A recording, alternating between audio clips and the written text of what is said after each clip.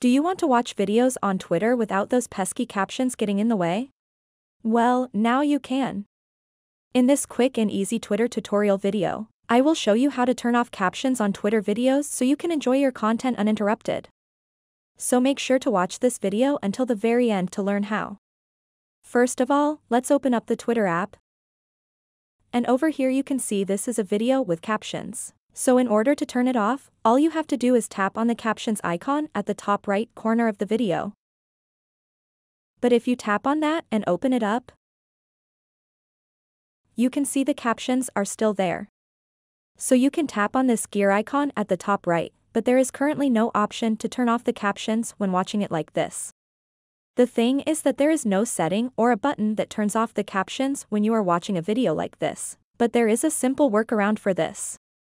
So what you want to do is exit the Twitter app and open up your settings. Then tap on the search option at the top and simply search for accessibility. And tap on it.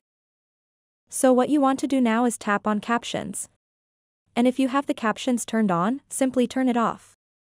That should fix the issue, and you will no longer have captions on your Twitter video.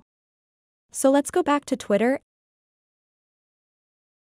and let's tap on that video. And as you can see, it is not showing any captions. So that wraps up this video.